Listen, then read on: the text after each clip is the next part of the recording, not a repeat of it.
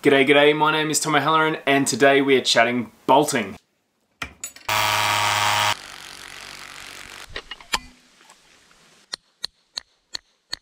I was going to take you out for a day of bolting with me today because that is by far one of the most requested videos that I've gotten, but it's raining and that sucks.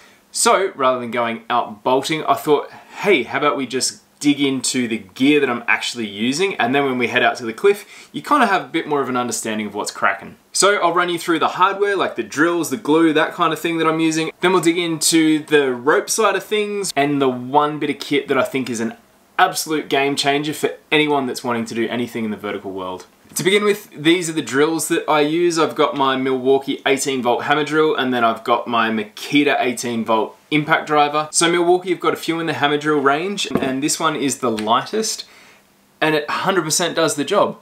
I've got some friends that have got the big higher powered ones, but when you're out in the roof going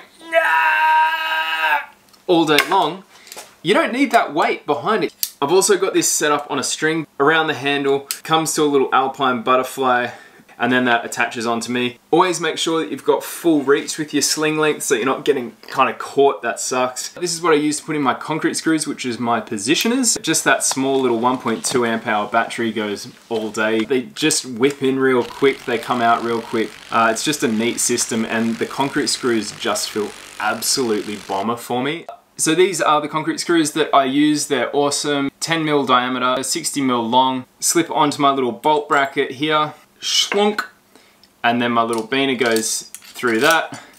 You whip them up and they're just good to go. And this has done quite a few routes now and it's still looking real good. Staying on the bolt side of things, I've got my homemade U-bolts, 10 mil stainless round bar. I buy it in like big five meter length something and chop it up into 250 mil lengths and then bend it on my bending jig. And then once it's bent, basically hit it with a grinding disc and just scuff it up and it gives extra surface area and like grippage for the glue to knock into. This one hasn't been notched up, it's just still the nice clean bare metal. This one has. There's an awesome article actually that Steve Hawkshaw from Climbing Anchors did I think it was his thesis or something. I'll link it below and it's basically about anchor systems in soft rock. Definitely worth checking out. Drilling the bolts in, super simple. I've got my 10 mil drill bit for my concrete screws, 12 mil drill bit for my glue in bolts. Basically the rule of thumb with the glue in bolts, I'm putting in 10 mil bar, 12 mil here, so an extra one mil either side of the bolt. That gives room for the glue to get in there and get some nice grippage. This is the glue that I'm using. It's the Powers AC200 Plus. Uh, it's a hybrid acrylic. Cure time in 20 degrees is 30 minutes. You pop it in with this super special glue gun. Um, the one downside to these things is that you can't use it as a hammer. I have done that in the past when I've forgotten my hammer and it completely wrecked it and I had to buy a new one. So uh, this is version 2.0. You can actually see probably there's a few little ding marks where I kind of have used it. Um, but I'll endeavor to not break it this time. Now with all that banging around, you need to be safe. I've gone to the hospital too many times getting crud dug out of my eyes. It is flippin' uncomfortable.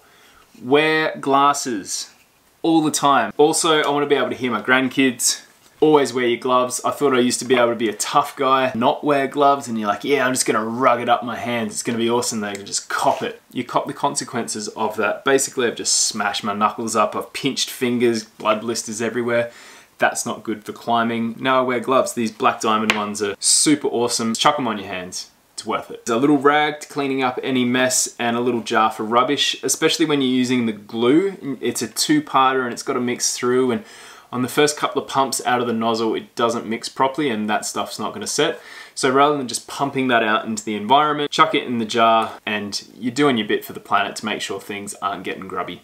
Two main bits of tooling that I take with me is this hammer and this brush.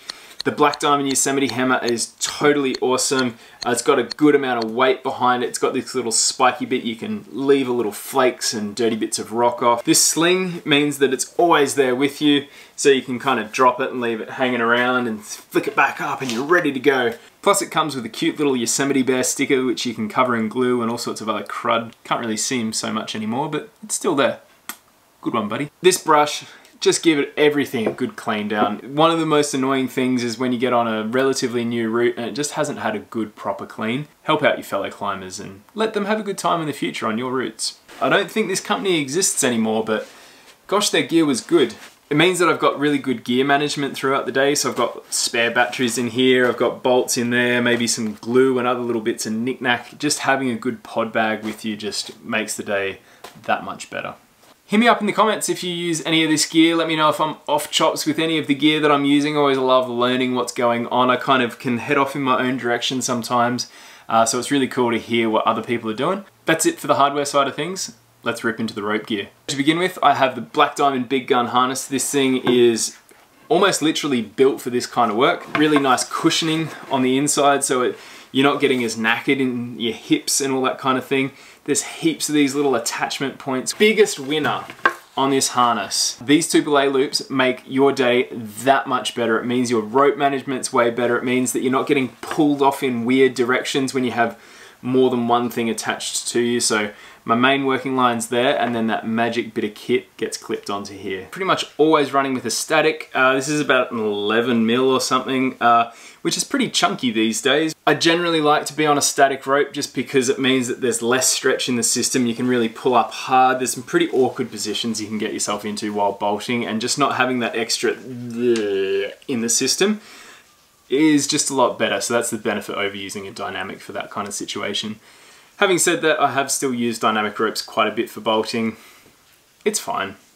You just get bleh. There's a whole bunch of carabiners, you can never have too many. Bunch of slings, daisy chain. This can make things a little bit easier for positioning, but the extra tool that I'm telling you about later, so much better. I've got my Jumar, it's a little black diamond jobby. Don't use the handle on these really ever for whatever reason. It just feels better to just grip the top. Uh, and then a little Metolius Easy Step Aider, I think it's called. They're awesome. It's way better than having all of those like eight different little ladder steps in there. They just become bulky. Random quick draws there.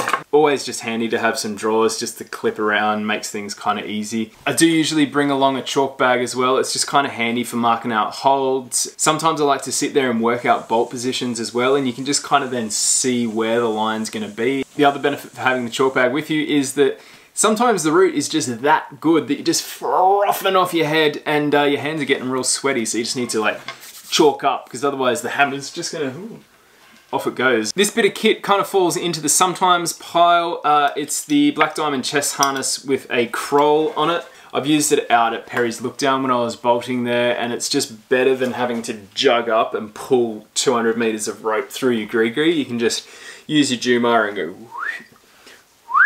and uh, the rope just feeds through this and then you sit on that. Much better. I always carry with me some rope protectors. This one is nice and thin. It's good for protecting against like abrasions. So if you're going over like just a big roundy slope and the rope's gonna be rubbing over it, it just protects your rope and it protects the cliff. Then we've got this big thick jobby. It velcros open, the rope slots in there. There's a bit of string that you then can attach to a bolt, to a little tree, to the rope. You just do a little like clove hitch type thing onto it so it just holds it into position. I don't know what this kind of material is but some sort of like woven crazy heavy stuff and that protects against like sharp edges, ironstone, those heavy angles where the rope's kicking along. I have had someone I know die from that. I'm sure most people have heard a story of the rope getting cut. So don't be one of those stories, protect yourself and everything's gonna be a-okay. I'm always using the Grigri, it's awesome. I've got the new one and I've got a few of the older ones. The older ones work much better on my 11 mil rope. This then is the magic bit of kit. It's a Grigri on a string with a skyhook attached to it. It is absolutely game changing for any of the work that you're doing, moving around in the vertical world. The ability to kind of pull yourself in and adjust your position and not being at the whim of the daisy chain increments is so good. Cannot express how much. This will change your life if you're doing any kind of movement in the vertical or horizontal world. One thing it's really easy to forget on a bolting day out is your hydration and food. So I usually just have this little water bottle clipped to me, a few Clif bars in my pocket, and it just means that I'm hydrated and fueled throughout the day. I've been out enough times where I've just not eaten or drunk anything for about five or six hours. You're just hanging in the harness and you just kind of get in this work mode and uh, then you're not feeling particularly good. Well, I think that's pretty much it for all the gear that I use. I'm sure there's maybe a couple of things. I always forget something on a day out at the cliff, and uh, that's kind of frustrating. One day I had to go back to the hardware after abseiling in 200 meters to a cliff. That was annoying. Anyway, hopefully you won't forget anything next time you head out to the cliff. I am very keen to make the how I actually use it out in the real world video, uh, so stay tuned for that. If I've made it already, it's going to be here. But that's it for now. Have a good one.